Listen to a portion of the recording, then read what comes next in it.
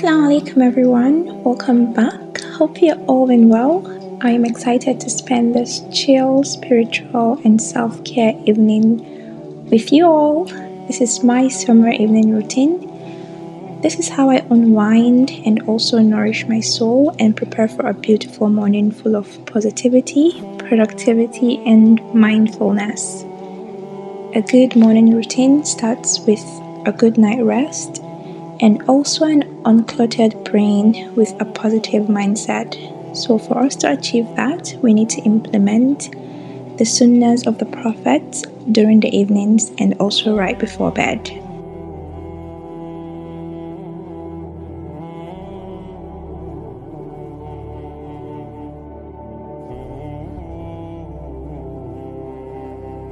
First off, I jump into cooking just to get that out of the way, and also I like eating early in the evening because it is better to eat ahead of time before bed to get a good sleep. It also helps in maintaining or losing weight, which I'm not trying to lose weight, but I'm trying to maintain my weight.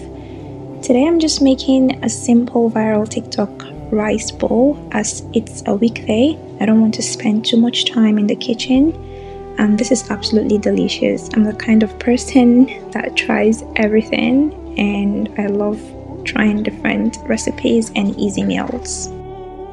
Also, eating early improves sleep quality, helps in calorie restriction, and also keeps you healthy.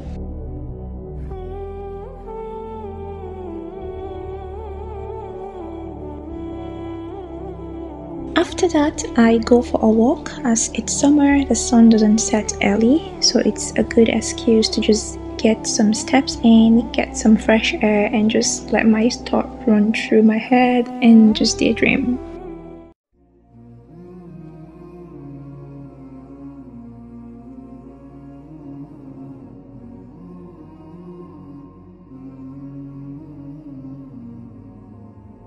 Immediately after I come back, I just switch on all the lamps in my house and I just go ahead and tidy up. This is an important step for me because the worst thing is waking up to an untidy home.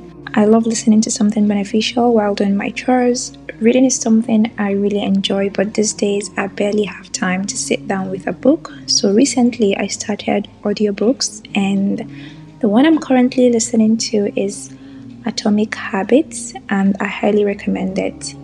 If you can also listen to Quran like Surah Mulk or an Islamic lecture, that's very, very good as well.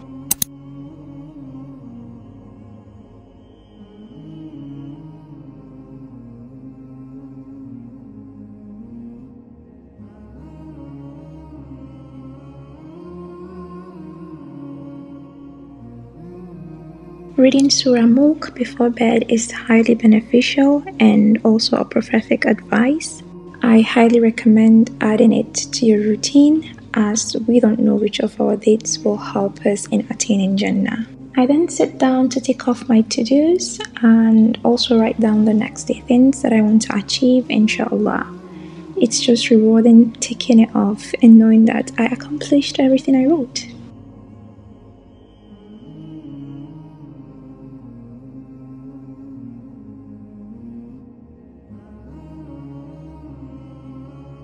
Skincare is an essential part of my routine. I really take it seriously and I also keep it very simple as well.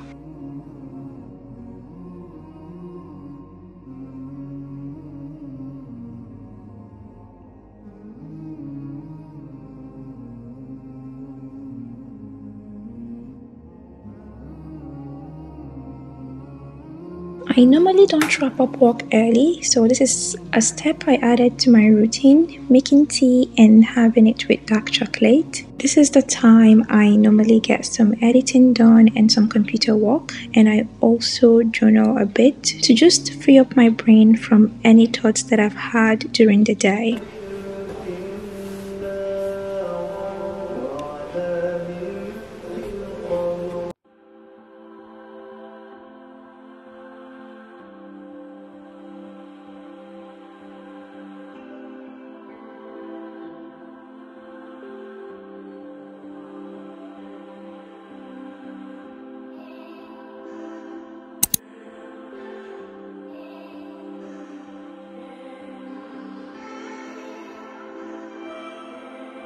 After Isha, I head up to sleep.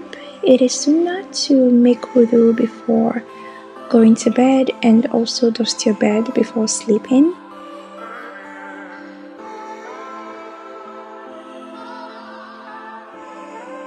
I also have my books on the bedside table, and this is a habit that I recently just started. Leaving the books you want to be reading on the bed or your bedside table in the morning so it can inspire you to pick it up at night to read for at least 10 minutes before sleeping if you're trying to develop the habit of reading at night.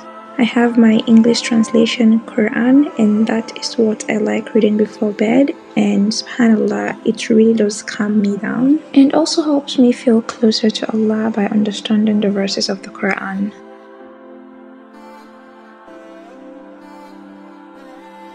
Don't forget to read your sleeping du'as, your Ayatul Kursi, and Adhkar. I hope you enjoy this routine and get some inspiration from it and I'll see you in my next one. Assalamu alaikum.